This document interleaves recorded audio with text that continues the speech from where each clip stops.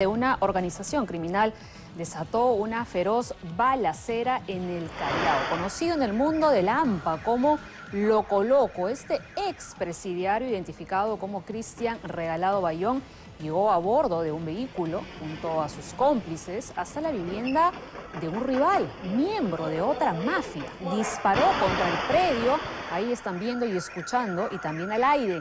Luego emprendió su fuga, sin embargo fue interceptado por policías de la comisaría del Callao. En ese momento ocurrió un intenso tiroteo que terminó con su captura. Y después de ser capturado, este delincuente habló. Escuchemos.